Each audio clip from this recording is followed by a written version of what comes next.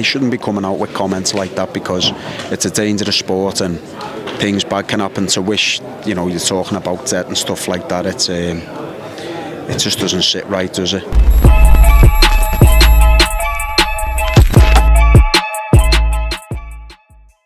This is Jonathan Agger, fifth pro boxing fans, joined by Joe McNally here in New York ahead of a huge fight this Saturday. Josh Taylor against Teofimo Lopez. Joe, how are you feeling? Good, mate. How are you? Doing well, thanks. Uh, it was a interesting press conference uh, that we thought might get a bit more heated. But uh, first of all, what did you make of that face-off? I've never seen uh, police get involved before. Yeah, you know, well, obviously Josh's reputation of being a hot-headed Scotsman and Teo talks a bit of smack, so I think they put the security there. A little bit disappointed in the sense that it's closed to the public and you know they never even got round to asking any of the well the likes of yourself questions to, to the current champion and former champion in Teo.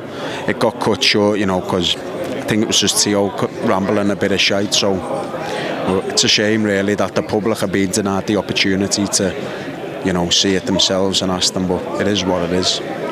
Teofimo, uh, Josh said in the press conference that Teofimo's made some disrespectful comments, uh, presumably talking about the kill comments that she repeated today, both up there and to reporters. Uh, did, have you found that a step too far? Yeah, you know, I think he's, as a former champion and couldn't fight it, I think he should be a little bit lot cleverer with his words in a sense that, you know, there's past and couldn't fighters. There was one the other week fighting a, another Liverpool fighter, Nick Ball, you know, fell fell in an hospital after the fight and he shouldn't be coming out with comments like that because it's a dangerous sport and things bad can happen. To wish you know you're talking about death and stuff like that. It's um, it just doesn't sit right does it? So but look that's his that's his style. That's what he wants. Um, hopefully Josh makes him pays for it Saturday and uh, Josh has said since joining you, he's felt at home with you and the guys in the gym. Uh, how would you say your relationship with him's developed, and how did it all start? Well, it started with this man right next to me here, Terry McCormack, who's produced Josh. He's been with him from day one, with him every professional fight he's had. Um, he, he produced the Josh Taylor, he produced the champion. I believe everyone's been part of his journey. Um, you know, Terry reached out and we linked up and put it together. But you know, the relationship's magnificent. Um, I've, I've knew, kept me an eye on him since he was an amateur, obviously coming through, and you know, we we just clicked straight away, and, and here we are. Yeah, yeah. When you take a fighter who's a current world champion, former undisputed world champion, how much can you and do you want to change in that fighter? Nothing is there is it then more sort of surely there's some aspects though that you're adding to his game, no? Yeah, look, at the end of the day, I, won't sit here and talk shit and lie and go, I can do this. You can give every fighter a different look, but he's the undisputed champion of the world. If he can't get in there and fucking get out and box now, you know, it's he's what, what's he going to do? Get him to be the best, the best version of himself and you know, get him fit, ready, condition right, make sure he hits all his targets and, you know, polish up a little few things and, you know, make Josh Taylor be Josh Taylor. Don't reinvent him.